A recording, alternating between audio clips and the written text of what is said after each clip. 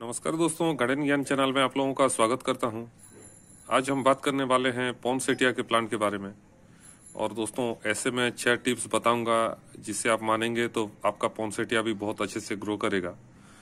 पॉन्सेटिया winter का बहुत अच्छा फ्लावरिंग प्लांट है। और दोस्तों विंटर में ये आपके गार्डन में कलर एड करता है। और बहुत लॉन्ग लास्टिंग वाला इसका फोलिएज और फूल रहता है दोस्तों। तो टिप्स नंबर वन है इसका पॉट साइज़ पॉट साइज़ की अगर हम बात करेंगे दोस्तों तो इसे आप ना ज़्यादा छोटा, ना ज़्यादा बड़ा मीडियम साइज़ का पॉट में लगाइए। और प्लास्टिक पॉट में दोस्तों ड्रेनेज होल ज़्यादा रहता है तो इसे ऐसा पॉट ही चाहिए।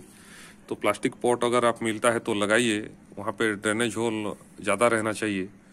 और दोस्तों, पानी ठहरना इसे पसंद नहीं है। पानी अगर ठहरेगा तो ये रूट रॉट हो जाता है।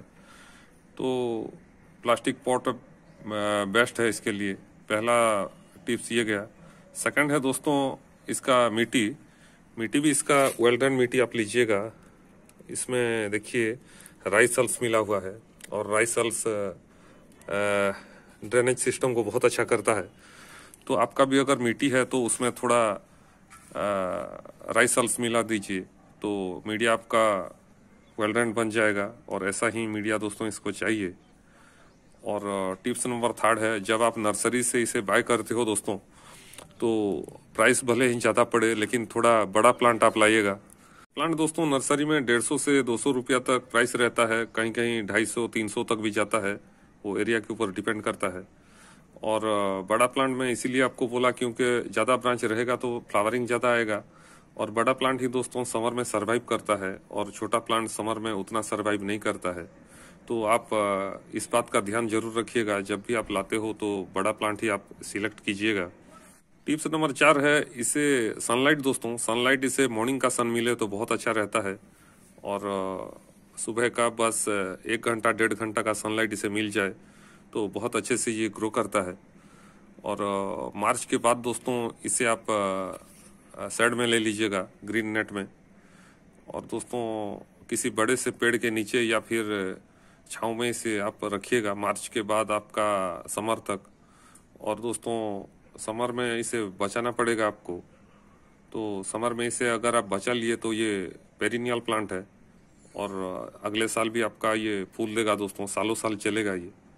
और टिप्स नंबर पाँच है दोस्तों, ये ह्यूमिडिटी इसे पसंद है। तो समर में इसे ह्यूमिड रखिए और इसका नीचे आप पानी डालते रहिए। अगर इसके आसपास आप पानी डालते रहेंगे तो इसे मॉइस्चर मिल, मिलता रहेगा। और दोस्तों, ऐसा अगर आप करेंगे तो समर में ये बच जाएगा।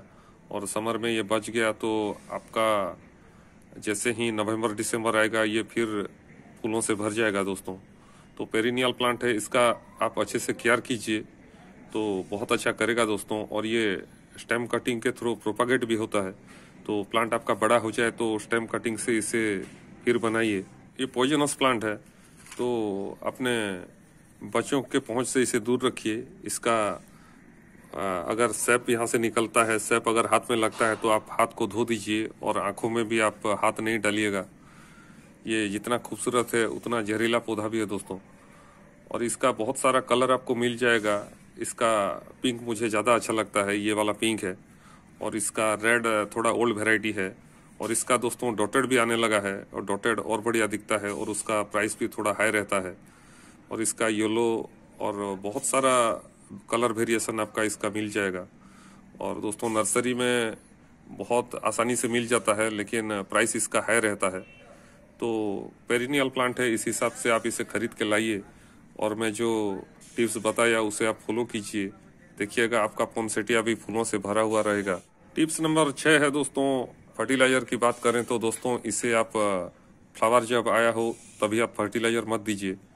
और जब इसका ग्रोइंग सीज़न आए, यानी कि अक्टूबर में इसे फर्टिलाइज़र देना चाहिए तो पहले इसे आपको समर में बचाना पड़ेगा। समर में अगर ये बच गया तो इसका केयर आप अच्छे से कर पाएँगे और एक साल अगर आप कंटिन्यू कर गए तो इसका केयर आप बहुत अच्छे से जानेंगे। तो दोस्तों, आज का जानकारी और ये पौधा आपको कैसा लगा कमेंट कीजिएगा। फिर जल्द मिलते हैं और एक नए वीडियो में। तब तक के लिए नमस्कार।